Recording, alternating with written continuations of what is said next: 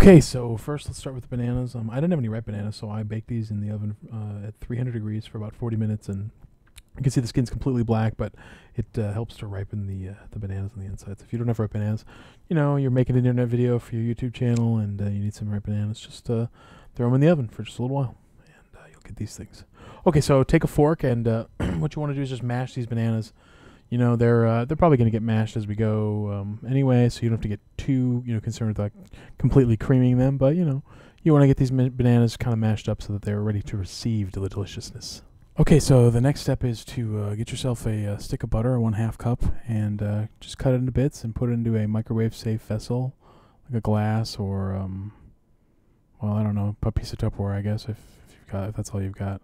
Anyway, put it in the microwave for about 30 seconds, and then uh, it'll melt it, turn it into this delicious golden liquid, and then uh, you're gonna take Mr. Whisk here and uh, just bash the bananas into the uh, into the buttery uh, goodness there until it's all sort of combined. And I mean, like if we're being honest, you could probably just eat this, and uh, it would probably be delicious, you know, because it's butter and bananas. But uh, the next thing you're gonna do is you're gonna add uh, three fourths of a cup of brown sugar and just uh, integrate that right in there. And if you don't have a whisk, you can just use a spatula, or you can just use a fork, or I mean, you know, if you've got a mashed potato masher, you could use one of those, or your fist. You can just squeeze it between your fingers. Any any any old thing you want to do. All right, so one teaspoon of uh, vanilla that's going in there, followed by one large egg, and uh, I know it's large. I I checked, it was large. Uh, okay, so just uh, integrate that, mix it together. Use uh, you know use your tool and smush it until it's all done. All right, so now we're on to dry ingredients. First thing you do, one teaspoon of uh, fresh and natural baking soda, and then one quarter teaspoon of salt.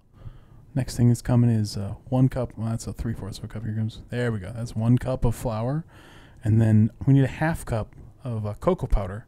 That's a quarter, and that's a quarter. Two quarters equals. That's right, fifty cents. And fifty cents is all you need.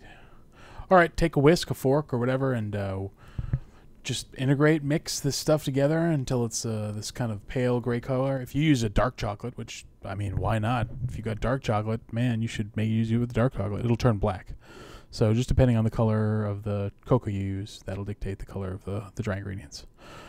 Okay, so you can see here I've uh, transferred the wet ingredients into the dry ingredients bowl, and uh, I, I'm realizing pretty quickly here that the whisk is the wrong choice. So, you know, use a fork. Um, men use forks.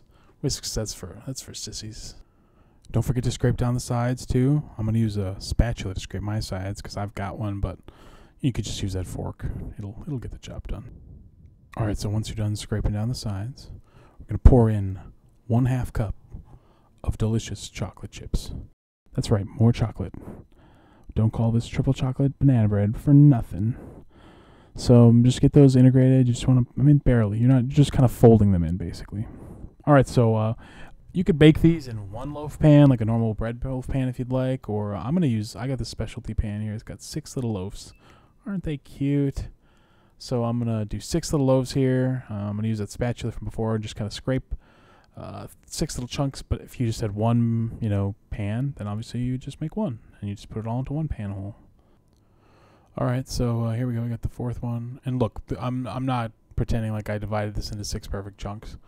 I'm gonna put the first six chunks in, then see I just mash the remainder, just kind of divide it till it looks like it's even, and then uh, you're gonna take one half cup of dark chocolate chunks, and you're just gonna cover the surface with these chocolate chunks. And if you had one pan, and of course you just cover the one pan. In this case, we got six. And if you had a cupcake pan, like an adult, then you could make cupcakes like this. So just, you know, whatever your world is. All right, so you're going to jam these into a preheated 350 degree oven. And uh, try not to burn yourself. Be careful. Push the, there you go. See, I used the glove. And uh, after about 55 or 60 minutes, 65 minutes, somewhere in there, just uh, pull those bad boys right on out of the oven there. And way you can check to see if they're done is uh, poke them with a toothpick. And if the toothpick comes out and doesn't have any junk on it, well, then you'll know they're done. Okay, so uh, after about 10 minutes of sitting on the rack here, and now if you don't have a rack, you can just put it on the counter or a cutting board or whatever. Uh, but just want them to, to cool for about 10 minutes. Uh, if you do have a rack, you can just like neat flipping trick, and you know you can use a pizza box if that's all you got. But uh, just find something, flip them over, um, or just plop them right on the counter if you're feeling brave. But uh, point is, just get those pans inverted, give them a little shake, and look at that, six delicious loaves, or if you just got the loaf pan, then one delicious loaf of triple chocolate banana bread. Go on. You should be proud of yourself. Go on. That's right. You did it. All right. Well, don't forget to hit the subscribe button, the thumbs up button. Type in the box below something delicious you would like. Um, feed this to your friends and family. Put a little dab of butter on there. See, look, doesn't it look great? They're gonna think you're a wizard. They're gonna think you're a food wizard. This is uh, cooking for adults.